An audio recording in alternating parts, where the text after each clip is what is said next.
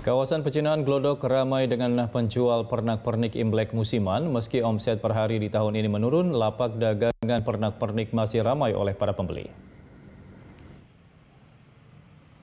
Sepanjang jalan kawasan pecinan Glodok Petak 9, ramai dengan pedagang musiman di pinggir pertokoan. Yang dijajakan pun beragam, mulai dari lampion, stiker berlambang sio babi, amplop angpau, dan pohon meyua. Adapun pakaian serba merah khas perayaan Imlek yaitu Cheongsam. Menurut salah satu pedagang pernak-pernik yang paling laku terjual adalah hiasan gantungan, lampion, dan pohon meyua. Semacam gambaran, lampu, lampion, pernak-pernik aja lah gantungan pohon gitu. Bisa kalau kayak yang gantungan kayak gini berapa per Paling sekitar murahnya itu 20 lah. Ya kalau yang paling mahalnya sekitar seratusan kalau untuk gambaran gitu. Kalau untuk lampion ada yang 300, ada 350. pernik yang paling laku apa aja?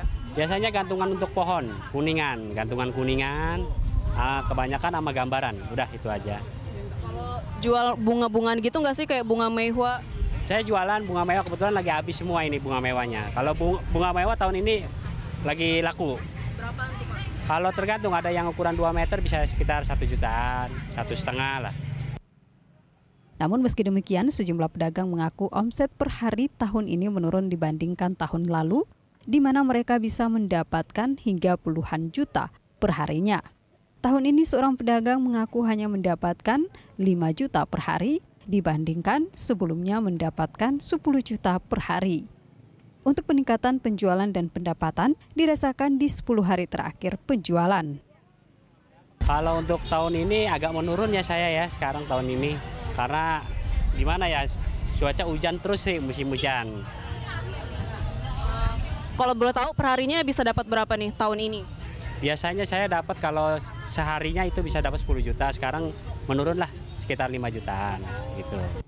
Selain penurunan penjualan pernak-pernik, seorang pedagang kue khas Imlek, yaitu kue keranjang, juga mengaku merasakan penurunan pendapatan per hari di tahun ini.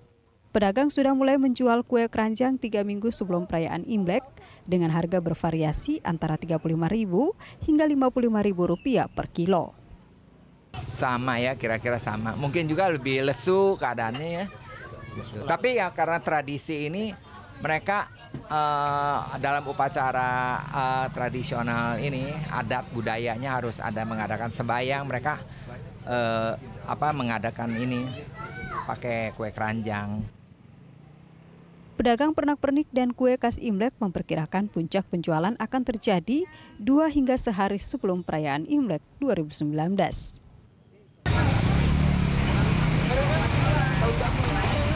Pernak-pernik Imlek kali ini bertema babi tanah, di mana ini disesuaikan dengan tahun baru Imlek 2570 yang ditandai dengan lambang babi tanah.